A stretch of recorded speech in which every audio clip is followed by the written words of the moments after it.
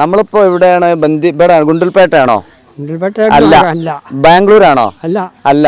വല്യാട്ട് ആ അതായത് കണ്ണമല പഞ്ചായത്തിൽ എവിടെയാണ്? വല്യാട്ട് വല്യാട്ട് ഇത് വീരേണ്ട കേട്ടോ കാരണം ഇദ്ദേഹം കൃഷി ചെയ്ത് പിന്നെ ഉണ്ടാക്കിയ ഏതായാലും പിന്നെന്താ അറിയോ?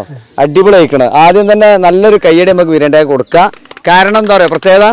പിന്നെ സീസണലായിട്ട് അല്ലേ സലീമാഷെ സീസണലായിട്ട് ഒരുപാട് വ്യത്യസ്ത കൃഷി പരീക്ഷിച്ച് വിജയിപ്പിക്കുന്ന ഒരാളാണ് ബീരാൻടി അജി. അജി അല്ലേ? ആ. ഓക്കെ. അതിലുപരി മൂപ്പര ഈ ഒരു കൃഷി ചെണ്ടുമല്ലി കൃഷിയുടെ പ്രത്യേകത കൂടാതെ വേറൊരു പ്രധാനം കൂടെ അല്ലേ ഷാജി മാഷി ഇങ്ങോട്ട് വരി.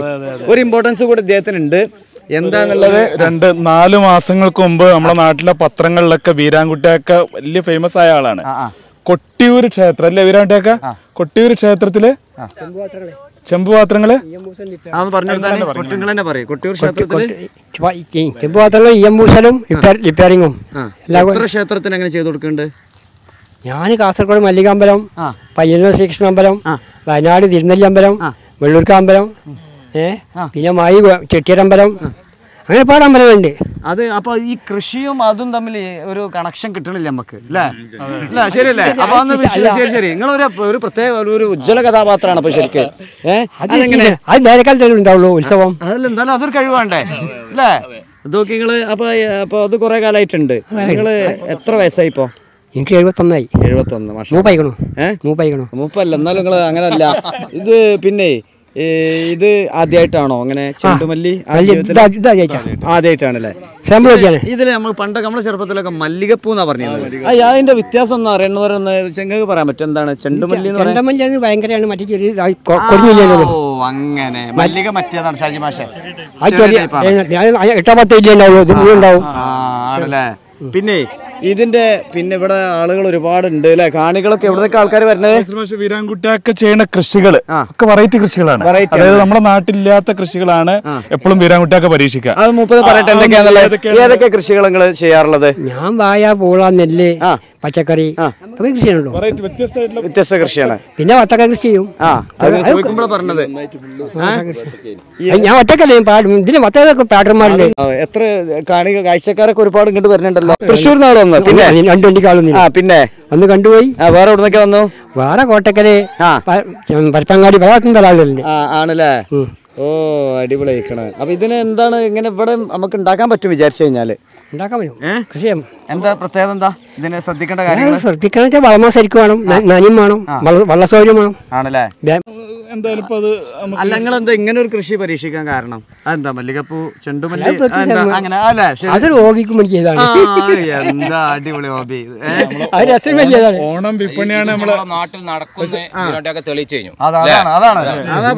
ഒരു രസം ഉണ്ടാക്കിയ ഒരു രസം കൃഷി എല്ലാം കുണ്ടൽപേട്ട ഇരുന്നുള്ളേ മൊത്തം അത് ആ ഭാഗത്തേനായിരുന്നു ഇതിന്റെയും പ്രധാനമുള്ള കൃഷികൾ. അപ്പൊ ഞാൻ ആ ഇവർ കുണ്ടൽപേട്ട പോയിട്ടാണ് ഈ സാധനങ്ങളും ഇതിന്റെ പൈപ്പ് സാധനവും വിത്ത് വരെ പോയി അവിടുന്ന് കൊണ്ടുവരികയാണ്. ആണല്ലേ അപ്പൊ അങ്ങനെ കണ്ടുപഠിച്ചപ്പോ അവിടുത്തെ കൃഷി എല്ലാം ഇവിടെ പരീക്ഷിക്കാന്നുള്ള തോന്നലാണ്. വ്യത്യസ്തത എപ്പോഴും. കൃഷിയിലാവട്ടെ വേറെ എന്തിലാവട്ടെ ഒക്കെ വ്യത്യസ്തത കണ്ടെത്തുന്ന ആളാ. നാട്ടിലും അങ്ങനെ അങ്ങനെ തന്നെ. ആണല്ലേ? അപ്പൊ ഏതുവരെ പഠിച്ചിട്ടുണ്ട് ശരിക്ക്? നാല് വരെ. പഠിച്ചു. ഇതൊക്കെ സ്വയം പഠിച്ചെടുത്ത സാധനങ്ങളാണ്.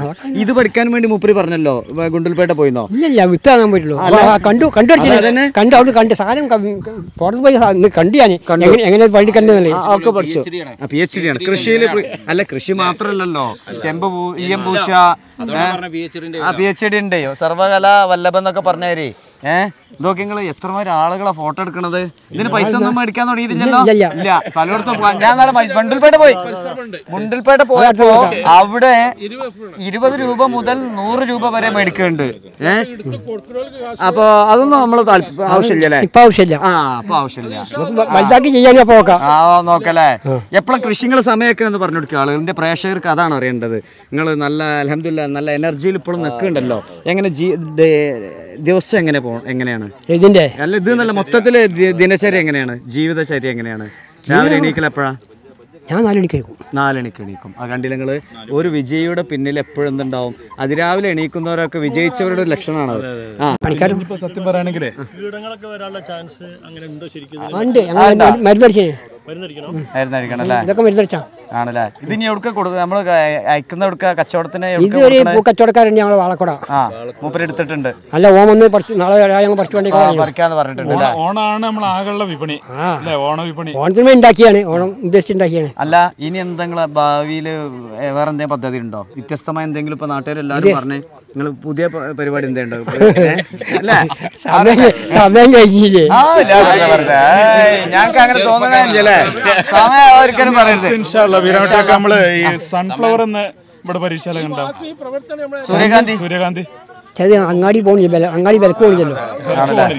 മാർക്കറ്റില്ല. മാർക്കറ്റില്ലല്ലോ. ഇവിടെ എടുക്കാൻ ആളില്ല. ആണല്ലേ? അല്ല പിന്നെ അപ്പൊ അതങ്ങനെ ഇത് പത്രത്തിൽ ചാനലിലൊക്കെ വന്നു? വന്നാ? പത്രത്തിൽ വന്നു അല്ലേ വന്നു. നിങ്ങളെ മറ്റേ ക്ഷേത്രങ്ങളിലെ ആ പിന്നെ ഇ എം പൂശലാണ് ഇംഗ്ലീഷ് പത്രത്തിൽ വന്നിട്ടുണ്ട് ഏതൊക്കെ പത്രത്തിൽ വന്നിട്ടുണ്ട്? ഇംഗ്ലീഷ് പേപ്പറിൽ എല്ലാ ഒന്നിനും ആൾ ഫേമസ് ആണപ്പോ. നമ്മളെ നാട്ടിൽ നാട്ടിലെ അഭിമാനല്ലേ? അഭിമാനാണ്. അടിപൊളി അടിപൊളി. അത് ഉഷാറായി. ആ എന്ത് ഈ എം ഭൂഷൺ എങ്ങനെ പഠിച്ചെടുത്ത്?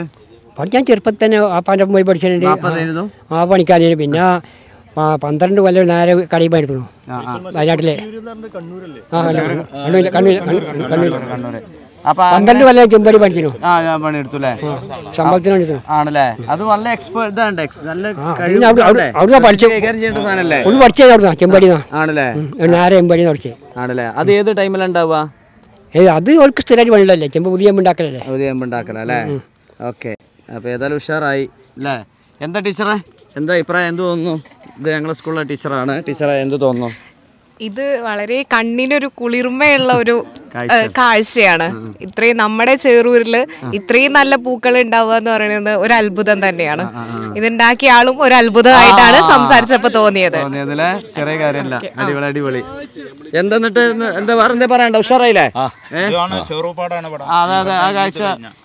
ക്യാമറാമാന് വളരെ ചെറുപാടാണ് പിന്നെ ഇത് ഇവിടുന്നാണ് നോക്കിയിട്ടുണ്ടെങ്കിൽ മുഴുവൻ നല്ല കാഴ്ച അതെ അതെ നല്ല രസമാണ് അപ്പൊ പെട്ടെന്ന് ഒന്നുകൂടല്ലേ വരുന്ന ആൾക്കാര് പെട്ടെന്ന് ഒന്ന് കാണാം. ഈ ലൊക്കേഷൻ ഒന്നുകൂടെ പറഞ്ഞു കൊടുത്താണ് മലപ്പുറം ജില്ലയിലെ കണ്ണമംഗലം പഞ്ചായത്തിലെ അച്ഛനമ്പലം വന്നിട്ട് പെരന്തക്കൽ റോഡ് പെരന്തക്കൽ റോഡിലെ വലിയാട്. വലിയാട്. എന്ന് പറഞ്ഞ നമ്മളൊക്കെ പതിനെട്ട് വർഷമായിട്ട് ഗുണ്ടൽപേട്ടിൽ ഇത് കാണാനായിട്ട് പോയി കൊണ്ടിരിക്കുകയാണ് അത് എത്ര ചെലവ്? എത്ര അല്ല, ചെലവ്? എണ്ണ പൈസ പൈസ, സമയ നഷ്ടം അവിടെ ചെന്ന ഓരോ ഈ വർഷവും ticket. പോയി ഈ വർഷം പോയി വർഷം കഴിഞ്ഞ ആഴ്ച ഫാമിലി ആയിട്ട് അവിടെ ഇരുന്നു. ഏ നമ്മൾ ഒരുപാട് പൈസ പോയി. പക്ഷെ ഇവിടെ ഫ്രീ ആയിട്ട് ഇപ്പൊ ബിരണ്ടാക്ക നമ്മൾ ക്ഷണിക്കുന്നു. ഇത് കാണുന്നു സെലിമാഷ ക്യാമറമാനെ ക്യാമറാമാനെ കാണിച്ചാ എന്റെ സ്റ്റുഡന്റ് ആണ്. എന്താടോ? ഇതാണ് ക്യാമറമാൻ. എന്താ അമനെ? ആ ഉഷാറല്ലേ? ഉഷാറാണ്. ആ വാപ്പ ഇവിടെ ഉണ്ടല്ലോ അല്ലേ? ഏതായാലും സന്തോഷട്ടോ. സഹകരിച്ചു നന്ദി. ഓക്കെ അല്ലേ, താങ്ക് യു സാർ ക്യാമറാമാനെ? ആ ഞാൻ കഴിഞ്ഞ വർഷം ഓന് പത്താം ക്ലാസ്സിൽ സാർ എന്നെ പഠിപ്പിച്ചിരുന്നു. എന്റെ ക്ലാസ് സാറേനോ വീരാകുട്ടിയൊക്കെ ഇപ്പോഴും ചെറിയ പ്രായമായിട്ടാണ് തോന്നുന്നത്. കാരണം എന്താ വെച്ചാൽ രാവിലെ വന്നിട്ടുണ്ടെങ്കിലേ ഇവിടെ മീമം നടന്ന് പിന്നെ പയര് വെണ്ടക്ക ഇതാ ഇവിടെയുള്ള ഈ കൃഷികൾ മുഴുവനും ഏത് അങ്ങനത്തെ ഒരു ശൈലിയാണ്. എന്നോ എന്നും ഇതിലെ രാവിലെ അങ്ങോട്ട് വരുമോ പീടിയിൽ നിന്ന് രാവിലെ ഒരു ചായ കുടിക്കും. അതെ മൂപ്പര് രാവിലെ ഒന്നായിട്ട് ഇത് ഇവിടെ മാത്രമല്ല പാടത്തിന്റെ കൃഷി? നെൽകൃഷി വേറെ നെൽകൃഷി ഉണ്ട്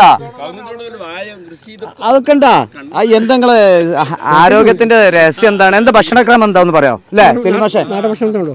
എന്തൊക്കെ ഭക്ഷണം എന്താണ്? സാധാരണ നാടൻ ഭക്ഷണം നാടൻ ഭക്ഷണം തന്നെയാണ്. ബിരിയാണി അതെന്താ ബിരിയാണിക്കകത്ത്? ഒന്നുമില്ല എനിക്ക് അതിനോട് താല്പര്യമില്ല താല്പര്യമില്ല അല്ലേ? ഇഷ്ടപ്പെട്ട ഫുഡ് ഏതാ? നാടൻ ചോറ് നാടൻ ചോറ്? നാടൻ കറി നല്ല പിന്നെ നിങ്ങൾ പച്ചക്കറിയും കാര്യങ്ങളും കൃഷി ചെയ്ത് തന്നെ കൂടുതലും? അത് അധികം കുറച്ച് അതെ.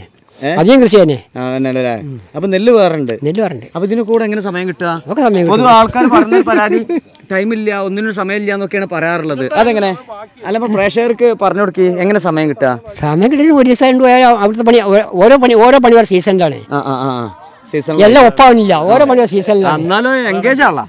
ഫുൾ ടൈം എൻഗേജഡ് ആണ്. ആ സീസൺ ആകുമ്പോ ക്ഷേത്രത്തിൽ ഇ എം ജോലി അത് കുംഭമീന മാസത്തിലുണ്ടാവുള്ളൂ വാഴകൃഷി തുടങ്ങേണ്ട സമയത്ത് ഇവിടെ വരും. നെൽകൃഷി തുടങ്ങേണ്ട സമയത്ത് ഇതിന് വരും. പൂ കൃഷി ചെയ്യുന്ന സമയത്ത് അതിനും വരും. ഓരോ സീസണിലായിട്ട് ഓരോ കൃഷിക്ക് ഓരോ സീസൺ. ഇപ്പൊ മാത്രല്ല.